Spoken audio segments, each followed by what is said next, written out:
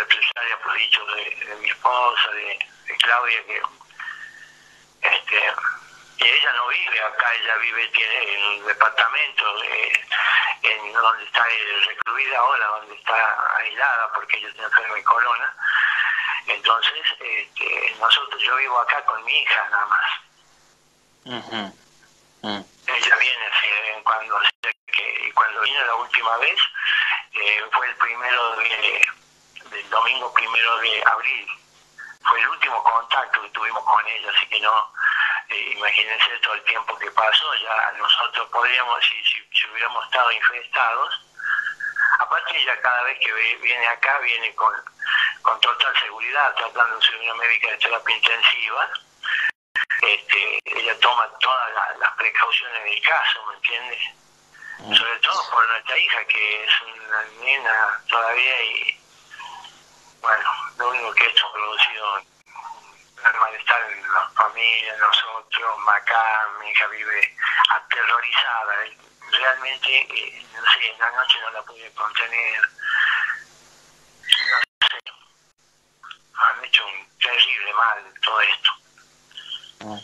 Eh, ¿Su hija cuántos años tiene? 16. 16. Y claro, es, me imagino, la que más está sufriendo toda esta situación. Hola, sí, sí. Sí, decía que me imagino que su hija es la que más está sufriendo esta situación. sí, esta, esta situación no, la sufre ella y bueno, también uno ya es grande, no, este, por ahí asimila todas esas cosas o las asume, pero, eh, pero los chicos no, ellos viven en otro mundo, todavía están con el tema, no, no pasaron por situaciones tan difíciles, de ver tanta gente que te pregunta, los medios, este, y bueno, amenazas en el sentido que porque eso es como una amenaza, ¿no?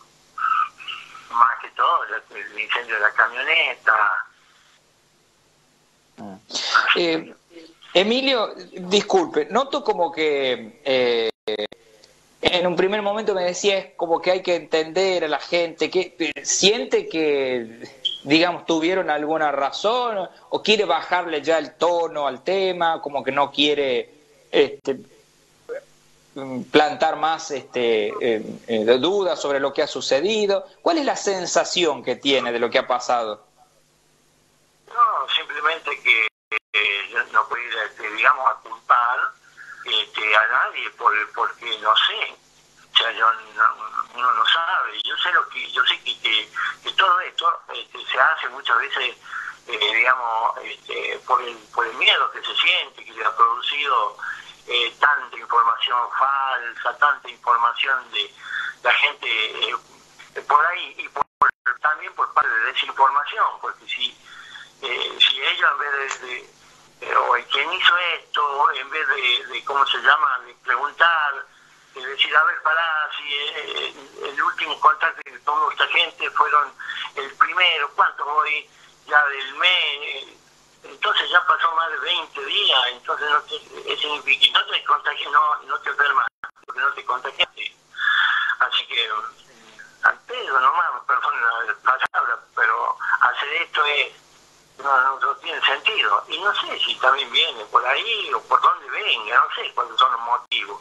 Yo estoy acá en, sin salida hace como 30 días de acá de, casa. Y bueno, y me encuentro con esto y por ahí solamente lo que escucho por la